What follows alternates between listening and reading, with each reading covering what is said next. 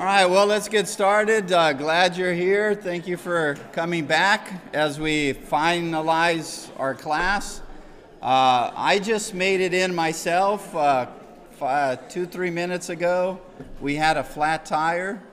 So, man, I forgot how you can sweat when you're trying to change a flat tire and you're in a hurry, of course, right? So I'm over there cranking and the family's helping and uh, they need to make those the bases of the, the jack like wider. Because I I'm about to pull the tire out and the car's like like come on right? So we crank it up again but but we made it. So we're here. Uh, I was about to call people an Uber I don't know something uh, see if somebody could fill in and teach the class but so we're finalizing today is the last uh, of the series. Uh, next Wednesday, we have VBS, open house.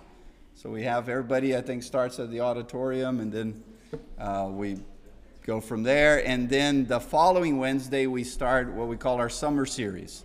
And I think all adult, maybe even high school, all adult for sure, meet in the auditorium through the summer quarter, and we'll have guest speakers, and we're going to talk about the kingdom, the kingdom of heaven, through emphasis on the parable. So I think it'll be really insightful and interesting.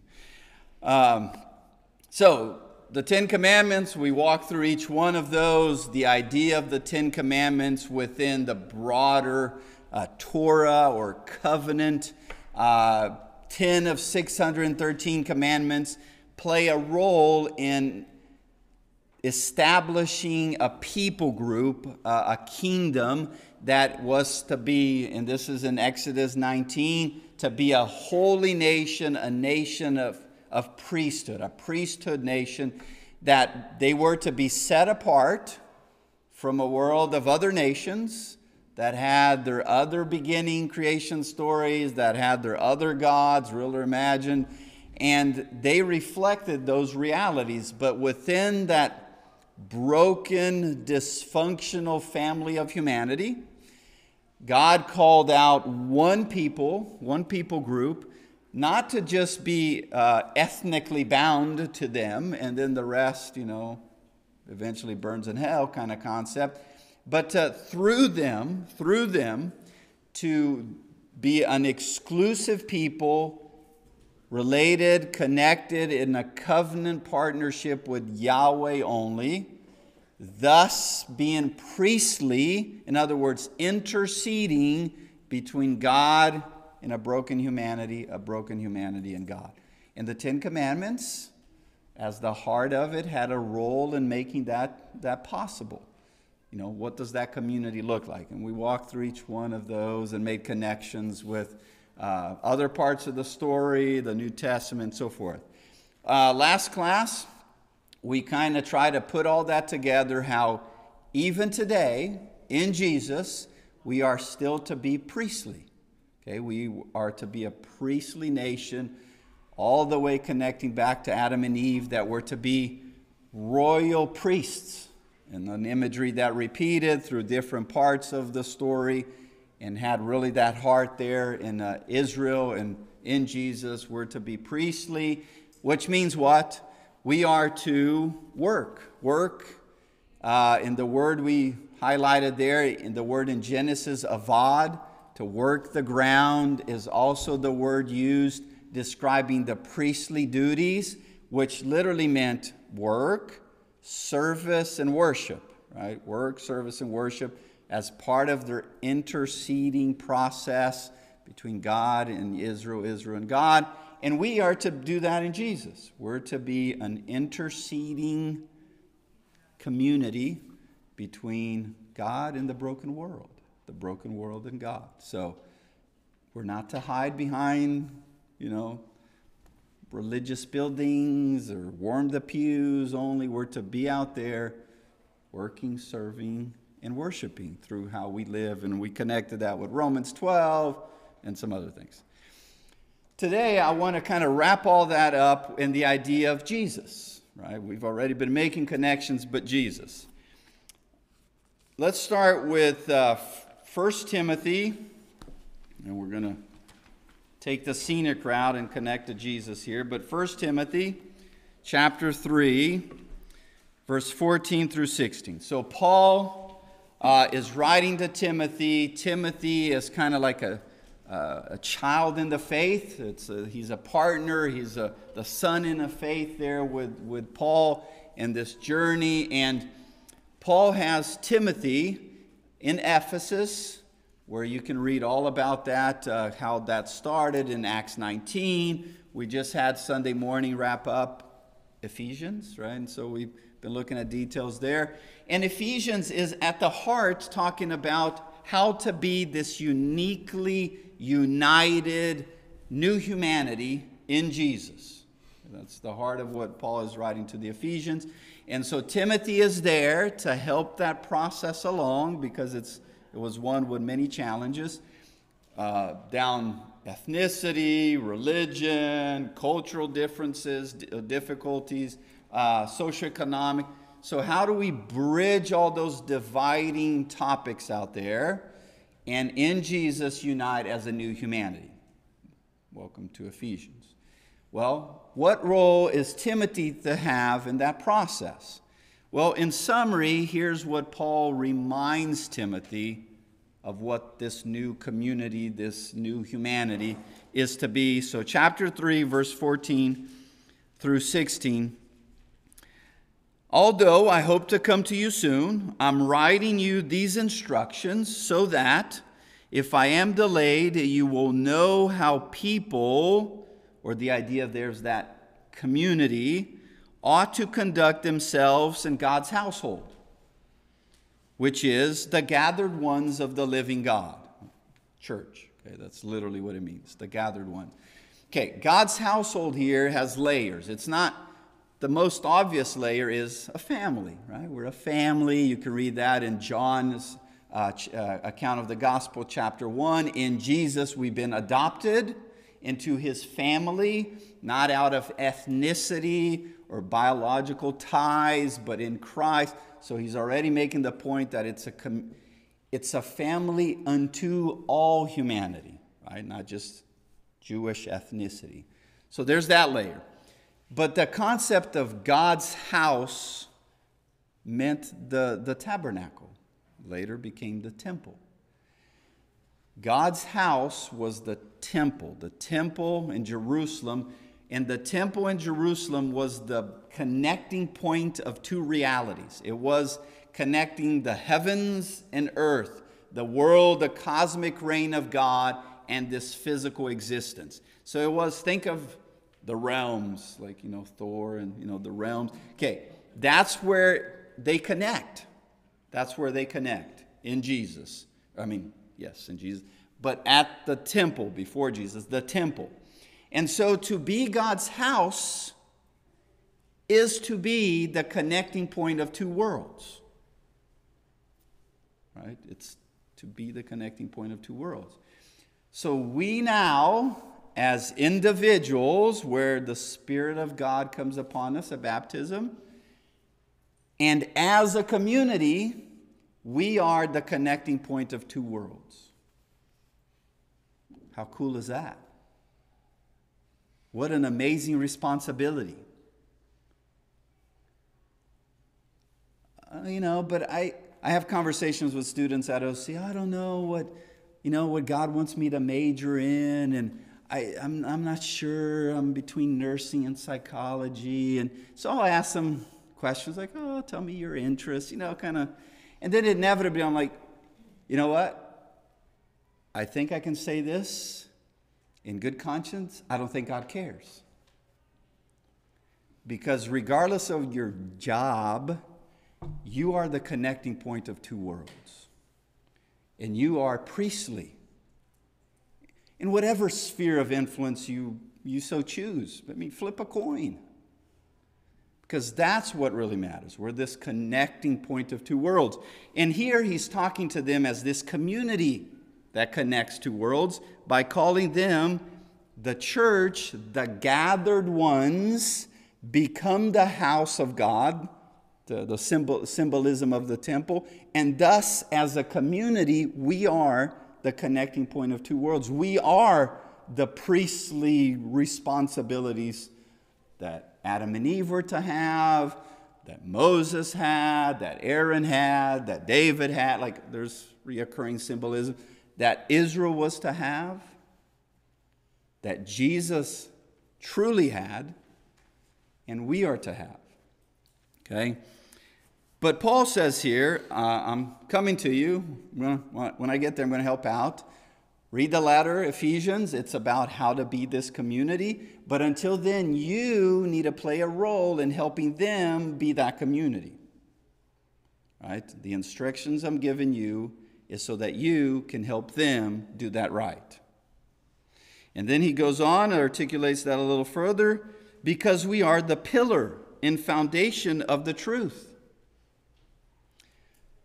Verse 16 um, Beyond all question, the mystery from which true godliness springs is great. He appeared in the flesh, was vindicated by the Spirit, was seen by angels, was preached among the nations, was uh, believed on in the world, and was taken up in glory. He, there's so many layers he's connecting here with Isaiah and some other imageries, but even the uh, Genesis. But what is he saying? Jesus is God in the flesh. He's those two worlds truly put together. And because he's been approved and, and vindicated and, and made that possible, we, in him, as we gather around him, we are to reflect that image, to reflect that purpose, that reality. And we do so by being this truth. And listen, don't hear me minimize, don't hear me dismiss it. Uh, I think Paul, uh, Paul, Tim, I'm sure he'll be happy to know I thought of him as Paul for a second. That Tim, uh, he wrote a, an article about this Sunday, maybe, uh, the idea of like, what are we to be known for? A cappella music? That's, that's, there's, there's a role for that. Are we to be known for, you know, women's role? That's not what he means here when he says the truth. The truth is he's talking about Jesus embodying these two worlds, being the connecting point, being the access point of a broken world to God and connecting God to a broken world. That truth we gather around and are to reflect. So, see, it's much more, it's grander and more cosmic than being known for a cappella music. Okay? All right, so let's go now to Jesus. I feel like we, we should have Jesus here in this. Uh, Jesus. Matthew chapter 5. 5, 6, and 7. What somebody somewhere in history uh, entitled it the Sermon on the Mount. Matthew, at the end of chapter 4, says it's the articulation of the good news of the kingdom. Okay, so Matthew 5, 6, and 7 is what does it look like to be this new humanity, this, these gathered ones around the, the cosmic connecting point of two worlds, Jesus. And so he's going to expound upon how do we live that out. Similar thing that Paul does just in to a different uh, specific audience there in Ephesians and all any of the New Testament writers are unfolding all this. The end of chapter 5, starting there, verse 23 on, and this is important. He's speaking to the nobodies of that world. I want you to think of, to borrow a phrase, the deplorables. Okay? Those people, as that world would categorize it, the nobodies. And nobody's as in many layers. Ethnically, they were considered very nothing. The, the socioeconomically down at the bottom. Uh, political power, zero. Like the folks, okay? The oppressed, the neglected, the rejected, the, the, the, the bottom. He's speaking to them, to them. And chapter 5, he begins with this vision of what does it look like to have the favor of God. Have you ever thought about that? We could call it the American dream.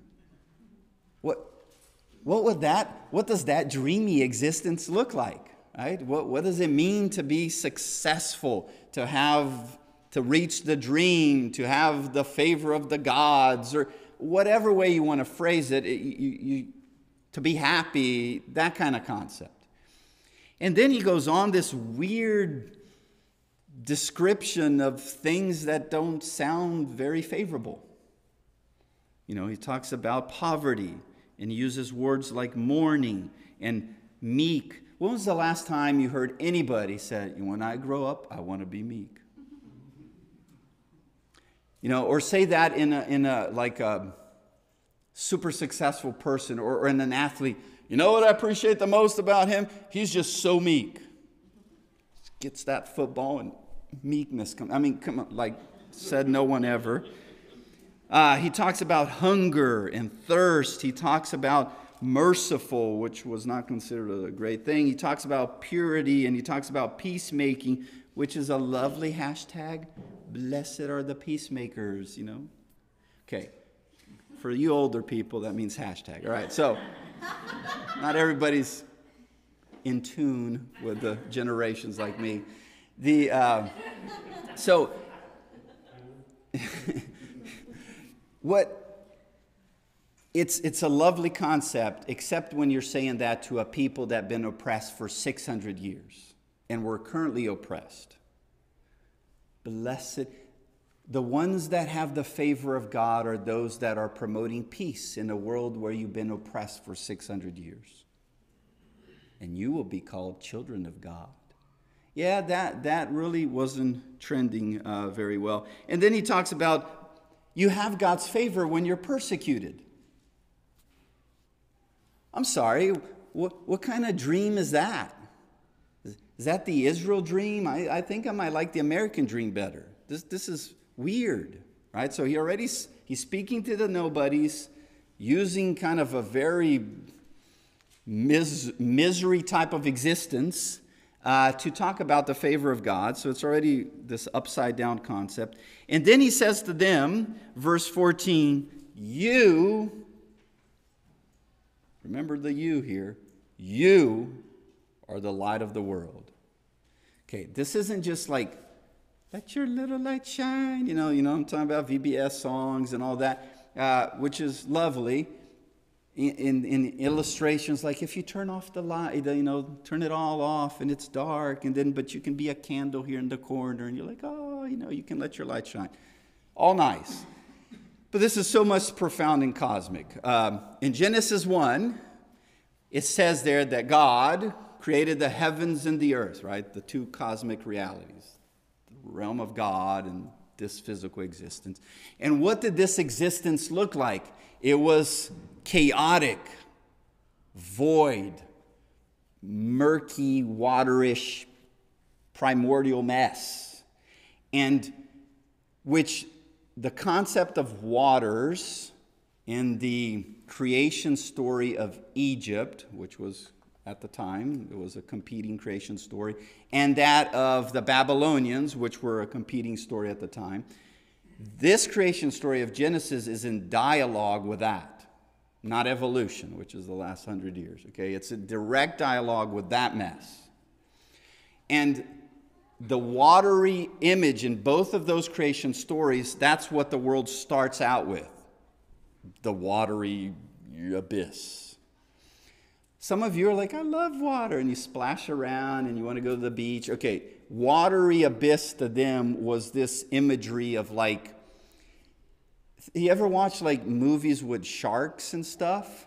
And, and like Jaws or where it's kind of late at night and people are splashing around in the water and you just see the, the music and then there, you know there's something there you're about to be eaten you know they're about to be eaten they should know they're about to be eaten but then they're eaten okay it's this kind of dark murky scary deathish that's how they thought of the beginnings of the universe so the two verses there chapter 1 verse 1 verse 2 there's a compare and contrast. There's the watery mess, and it's scary because darkness is over it.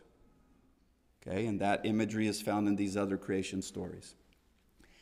The gods of Egypt and uh, Babylon, they come out of that primordial messness kind of. So that existed first. They come out of that, and then they start dealing with that scariness. This creation story has God. And the, that uncertainty, dark mess, abyss kind of thing, it's not scary because there's darkness there, but then the very next verse is, and the Spirit of God hovered over it. And then what, what does it say next? And then there was light. So the very presence of God, and that's the sun, the moon, all that is like in verse 4. So he's not saying in, in God created the sun, he's saying God is the light unto that dark existence. And so now what seems to be a symbol of death and uncertainty and chaos and scariness because of the presence of God's Spirit and light, becomes the waters that start to like bring life unto a garden. So when he says here, you are the light of the world, he's saying, regenesis. I give you that power because I am God with you, which is what Matthew introduces Jesus as in chapter 1, verse 24. I am God with you. So, what the world looks like, this chaotic mess, have you ever watched the news? Oh, God help us, right? What a horrible mess. I must be getting old and emotional because I find myself wanting to cry way too often. Can anybody, re- Barry, you know, you know what I'm talking about, right? So, yeah, thanks. Like I was, uh, we, we got a, I got a text, and he was somewhere talking about a, a child has brain tumor. Like, I'm like, come on. What horrible world are we in? Like, it's scary and it's dark and uncertain. It's kind of that watery mess of the ancient world symbol.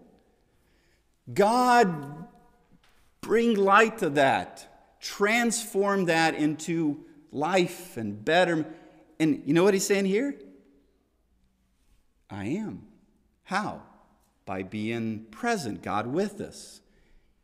And then being with you. So you can be the light of the world. You can be that transformative presence.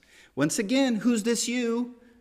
The poor, the neglected, the nobody. How are they going to make the world better? Because we all know it takes money, power, status, political parties, politicians. Oh, no, it doesn't. It takes the presence of God and the people that gather around God with us and Jesus. Okay, so you are the light of the world. And then move down a little bit, verse 16. Um, they will see your good deeds, right? Here's us moving into that world. They'll see the good deeds and they'll give glory to the Father in, the, in heaven. Once again, to the cosmic ruler of the universe. Because his rule is breach, it's like coming into the darkness by the very presence of light. Okay, so what makes the waters this chaotic doomsday mess of uncertainty, or the waters as a source of life? Presence of God, which you and I get to reflect, which, by the way, we were created to reflect. Okay? You then get to, uh, to Revelation, and there it's describing this restored Garden of Eden kind of imagery.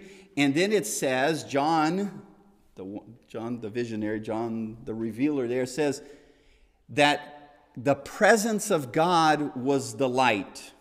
So he's not saying now we got a better sun. He's saying God is the light of that new garden. He, his presence. And I don't think he just means like it's just better wattage in Jesus, you know, that you can turn on the light than the sun. It's his presence is an existence of life, an eternal life. So by then it's all bettered.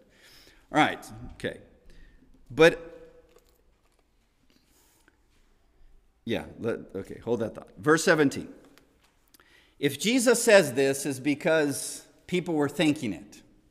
So he mentions, Do not think that I have come to abolish the law or the prophets. I have not come to abolish them, but to fulfill them. Why would Jesus, it did sound random? You're the light of the world. Oh, by the way, listen, I didn't come to abolish the Old Testament, what we call the Old Testament, the Hebrew Bible, the Torah, the backstory, the, the, the covenant with God's people, Israel, Mount Sinai, the 613 laws, the Ten Commandments. I didn't come to abolish that. Why would he say that? Because that was one of the leading accusations the religious leaders had against him. Oh, you're just some podunk boy from the sticks who's like claiming that we don't need any of that anymore. That, we, that was the old way, you know. Now I'm here with something more enlightened.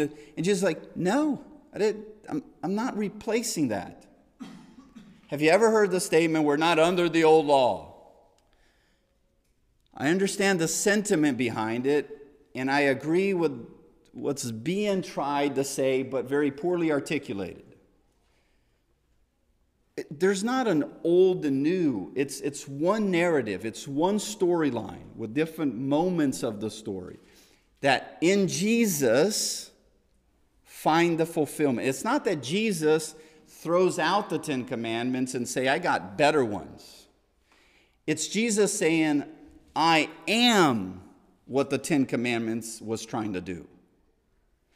So he goes on. Let's, let's, let's uh, work this out.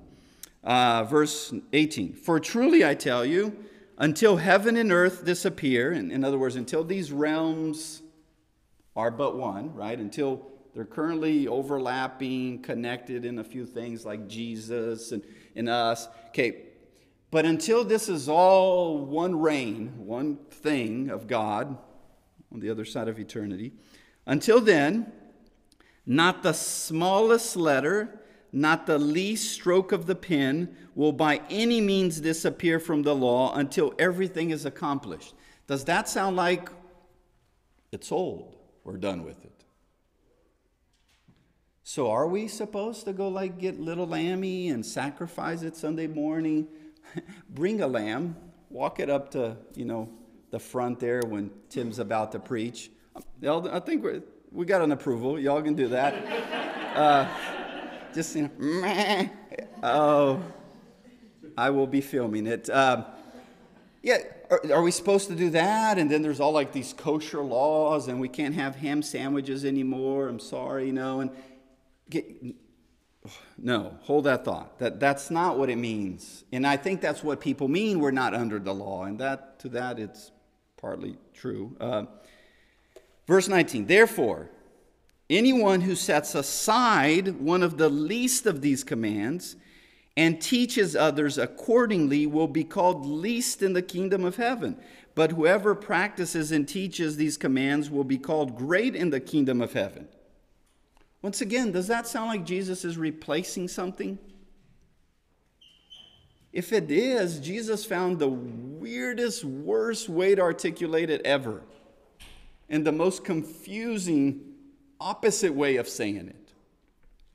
Uh, verse 20 For I tell you that unless your right doing, right, your righteousness surpasses that of the Pharisees and the teachers of the law, you will certainly not enter the kingdom of heaven.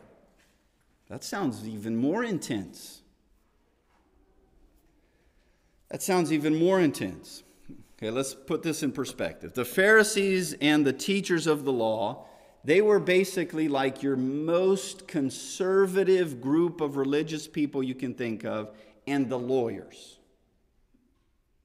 of lawyer like attitude about the law.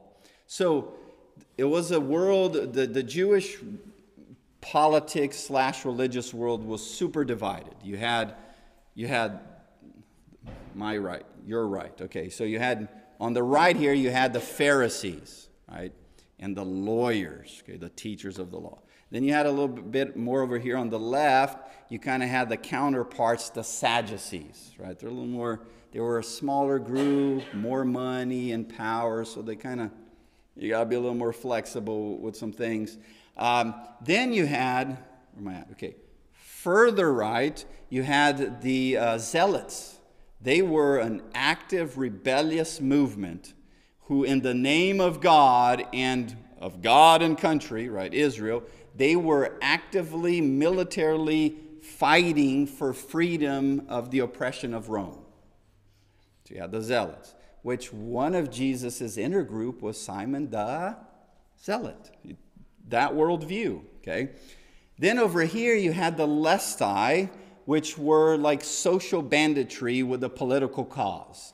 So they would take from the rich and give to the poor because the rich had too much and the poor were being oppressed. So they would take and they would give to the poor. So don't think like you're somebody's stealing a chicken.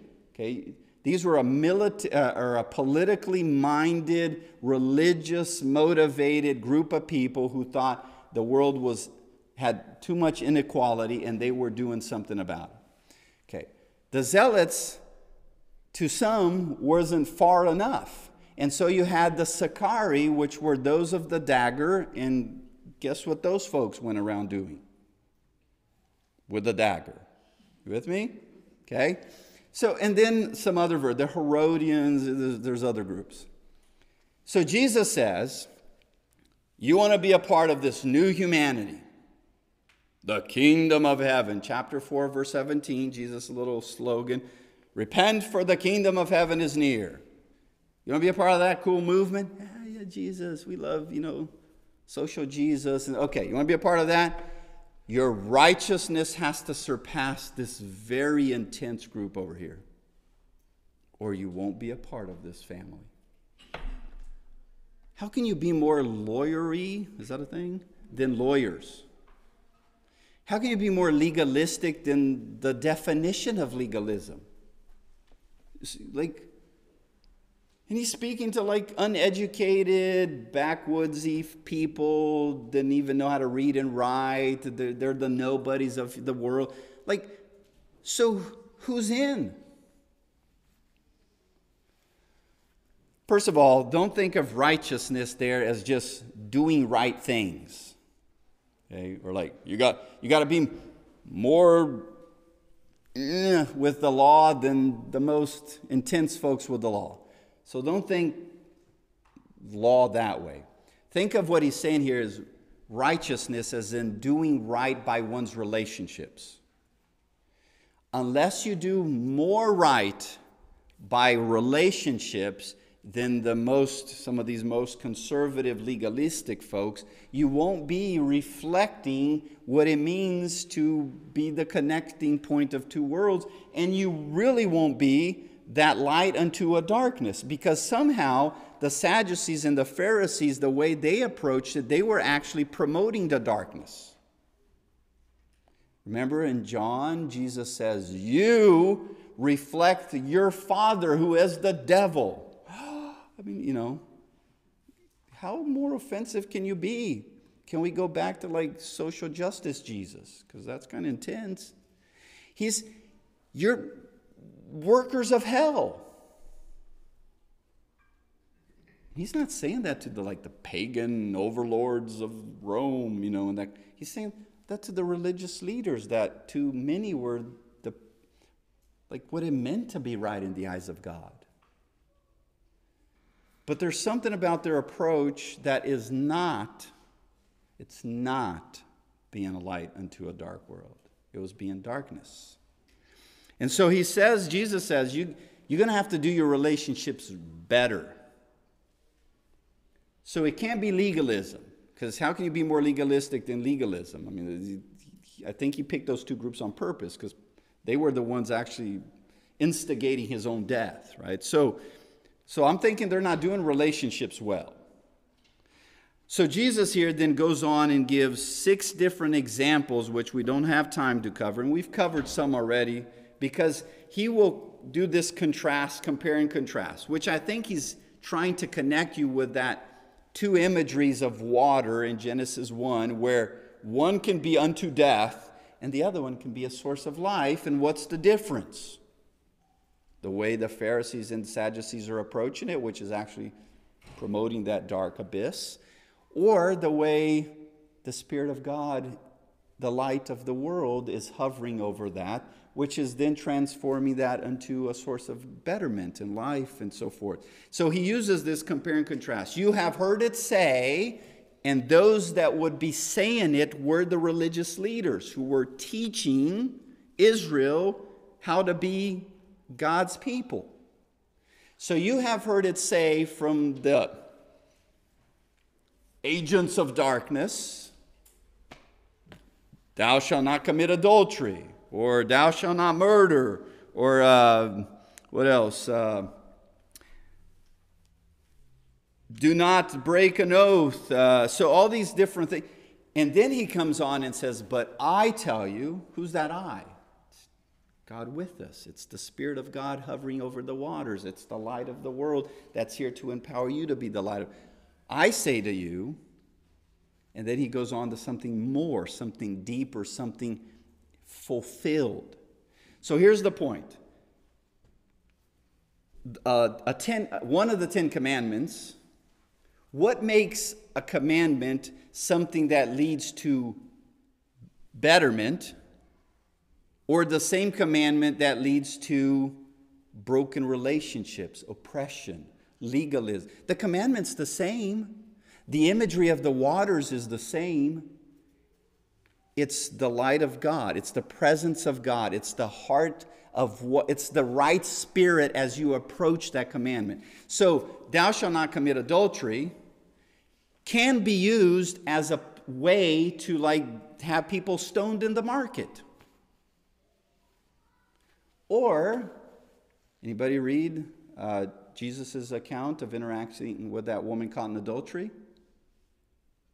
What does his version of that? It's the same, ver- it's the same s- s- statement, but what is he addressing?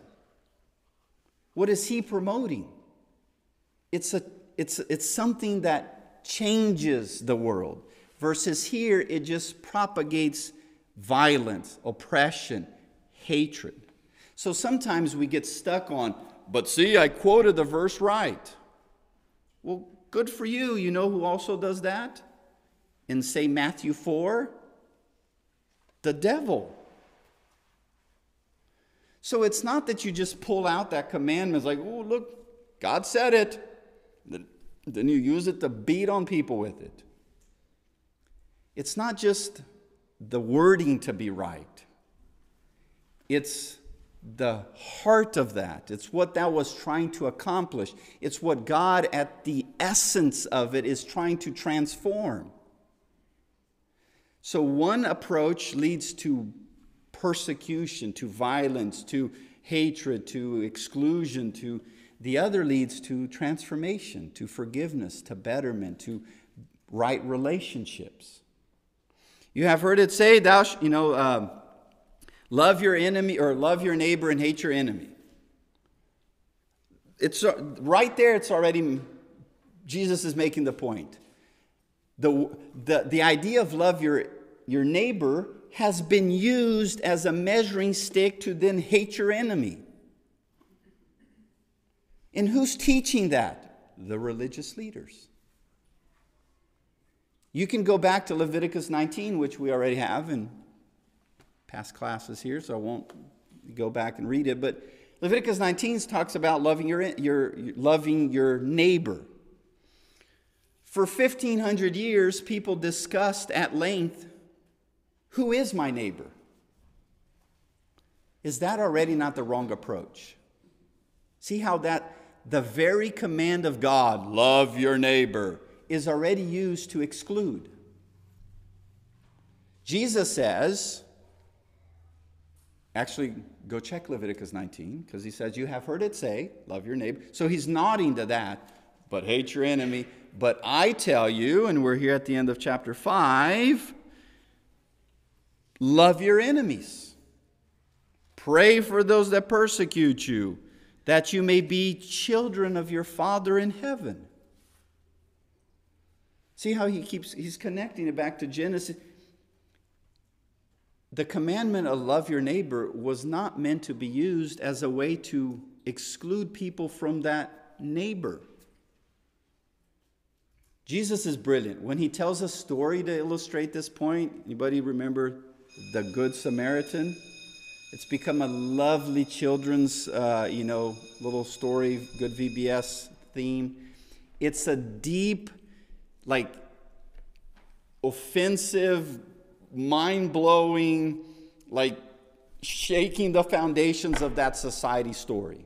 Because the great hero of that story is a non Jew Worse, he is he's Jewish. There's a whole 700 year worth of backstory of why the Samaritans and the Jews hated each other. And then he goes further and calls him the Good Samaritan. And who's the other bad characters in the story? Religious leaders. Have we, I'm going to just throw it out, have we as the chosen ones, the people of God, the connecting world, point of two worlds, the light unto a dark, broken world, have we been using by any way or another the Word of God to beat on people, to promote hellish th- Yes, you can promote hellish things with the Word of God or your use of it. Once again, Satan, chapter 4, the religious leaders it is possible. Listen, it's not enough to quote it correctly. We're people of the book. Good. I'm glad. I understand what that meant. But we got to be more. We got to be people of the kingdom of heaven. That's more than just people of the book. It's people who are using the message, the light, the story of God to truly impact the world to better instead of just being a, a different arm of, say, politics. Not that that ever happens. So, we are still today to be the connecting point of two worlds for betterment. Think of it like just a more practical illustration. Uh, a medical doctor who takes uh, their expertise unto a very remote part of the world that has nothing, no running water, some podunk village in the matter of nothing. What, what are they there to do? Bring healing, bring betterment. Does that make sense? That's, we're to be that, that connecting of two worlds a broken, sick world to the source of healing and betterment. We were created to do that in Genesis. Israel was empowered and called to do that. And in Jesus, that is finally fulfilled as we gather around that fulfillment, Jesus, God with us, to then reflect that reality. Thank you for being here, and we'll just be a light of the world. Thanks for coming.